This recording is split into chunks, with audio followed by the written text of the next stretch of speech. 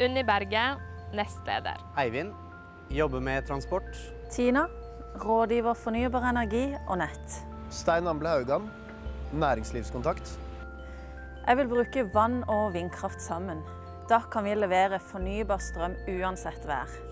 Jeg vil at det skal lønne seg å kjøre klimavennlig til jobben. Jeg vil at vi skal bruke varmen fra fjord og jord til oppvarming av husene våre.